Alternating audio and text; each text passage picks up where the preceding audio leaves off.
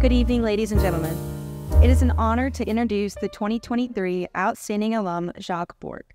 Jacques graduated summa cum laude from LSU in 2015 with a Bachelor of Science in Accounting.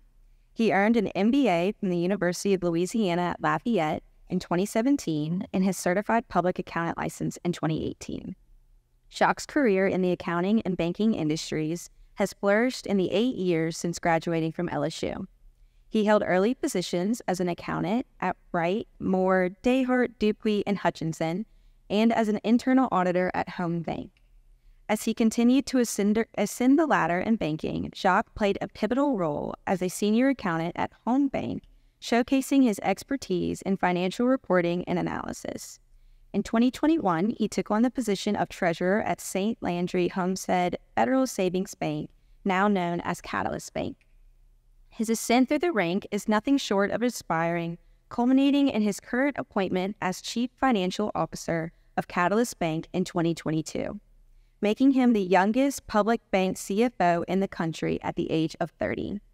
Jacques is a testament to the idea that it doesn't take a lifelong career to achieve extraordinary and meaningful outcomes.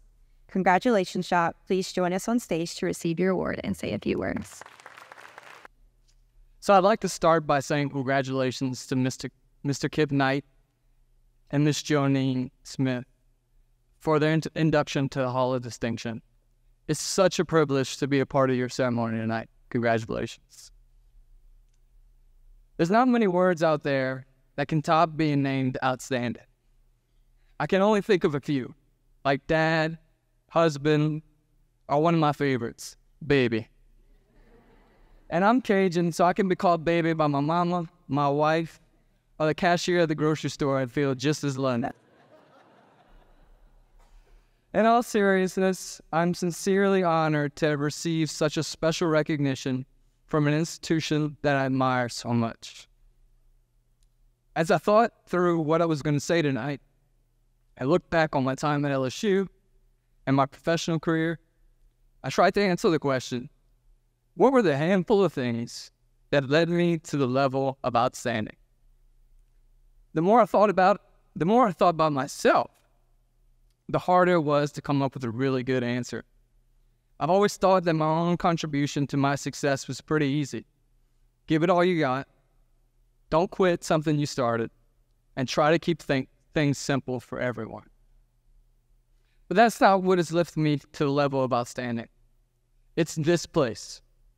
It's the incredible guidance and support I receive from the College of Business. It's the people right here in this room. And it's without a doubt, and I was going to cuss right here, but my wife told me not to. It's without a doubt the people who are seated right here at my table who have led me to this point. If I'm not standing, what do you call my support system? Exceptional? Remarkable? Heaven sent? I don't think there will ever be enough words. So I'll wrap it up with this. Thank you to the faculty and staff of the EJ Ourso College Business. And thank you to Dean Lorenz for the recognition.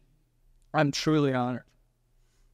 Thank you to my boss, Joe Zanco, for your mentorship, for believing in me, and giving this new Iberia boy a chance to help build an exceptional business right here in his backyard.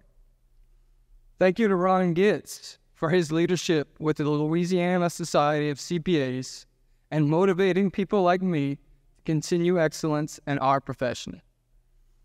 Thank you to my mom and to my dad. Thank you to my wife, Cass, and the rest of my family for everything you've done to support me. I love you. I'm so proud to call South Louisiana my own. I was born here I went to school here, and I now get the chance to raise my family and live out my dream career. I'm forever a Tiger and forever LSU.